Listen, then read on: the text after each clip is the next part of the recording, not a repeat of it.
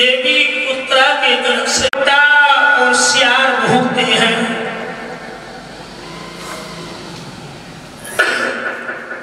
एक बार नारद जी ने मुझसे जो बात कही थी, मालूम पड़ रहा है भैया भी शायद कि कलयुग आ गया युधिष्ठिर भीम से कह रहे थे कि भीम एक बात तुम्हें बताएँ एक ब्राह्मण ने अपना बनिया को बेचा। और बनिया ने पुनर्निर्माण कार्य करवाया, खुदाई करवाई तो उसमें धन मिला। बनिया भी धर्मनिष्ठ था। वो धन लेकर के बनिया ब्राह्मण के घर पहुँचा।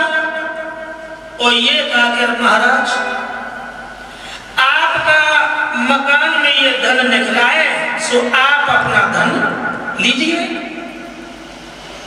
ब्राह्मण कहने लगा के साहब धन अब हमारा कह रहा? मैंने तो मकान आपको बेच दिया, कीमत ले ली। अब तो जो भी निकला वो तो तुम्हारा है। अब वो धन न तो बनिया ने लिया, और न ब्राह्मण ने लिया। युधिष्ठिर राजा थे। राजकोष में दोनों ही धन को जमा कर गए ये भीम और युधिष्ठिर की वार्ता चल रही है। युधिष्ठिर कहने लगे कि भीम, कल परसों की बात है। बनिया ब्राह्मण दोनों लड़के झगड़ते हुए आए। बनिया तो कह रहा है कि धन मेरा है और ब्राह्मण कह रहा है कि धन मेरा है। और भैया भीम एक एक वकील साथ में और लेके आए इसका मतलब ये है कि नारद जी हमसे कह रहे थे कि युधिष्ठिर, कलयुग आने ही वाला है। लगता है कि कलयुग आ तब तक अर्जुन द्वारका से लौट करके आ रहे थे।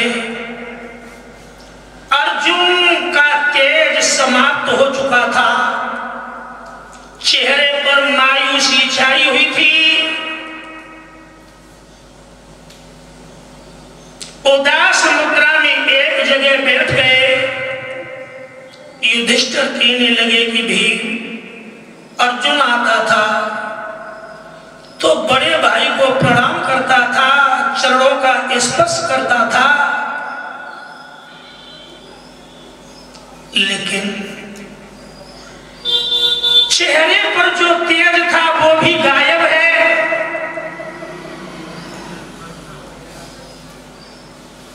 युधिष्ठिर पूछने लगे ही कि अर्जुन उदास कैसे हो द्वारका में सब कुशल तो ही अर्जुन रोने लगे कहने लगे कि बड़े भैया। अब द्वारका में कुशल कहा? विनाश हो गया। और बड़े भैया, जो शक्ति थी हमारे आपके अंदर, वो दीनबंध कन्हैया की थी वो भी चले गए मैंने उनसे कहा कि प्रभु आप मुझे भी अपने साथ लेते चलो तो उन्होंने हमसे ये कहा कि अर्जुन जब तू मेरे साथ आया ही नहीं था तो हम तुझे अपने साथ ले कैसे गए। मुझे छोड़ करके वो चले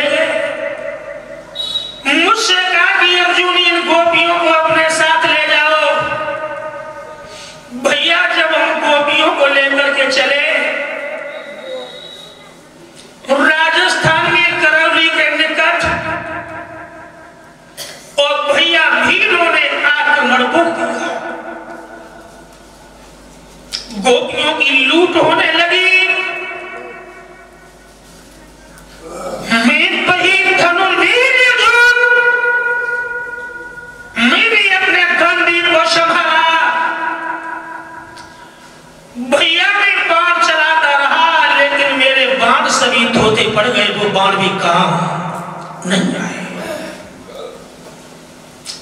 युधिष्ठिर कहने लगे ही किया बस, मैं समझ गया। परीक्षा को बुलवाया है, और परीक्षा को बुलवा करके हस्तनापुर का राज परीक्षक को दिया। और स्वयं पाँचों पांडव, सारी राजनीति बताकर हिमालय में करने के लिए चले जाते हैं एक एक करके। सब करते गए।